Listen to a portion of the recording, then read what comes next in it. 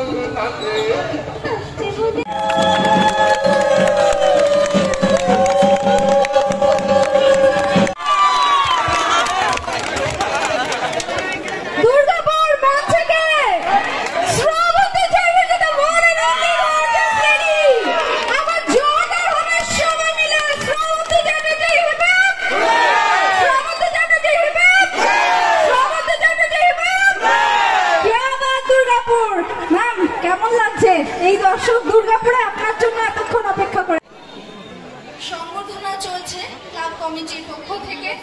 আমরা সকলে অত্যন্ত ধন্যবাদ জানাব। মঞ্চে উপবিষ্ট আমাদের সকল বিশিষ্ট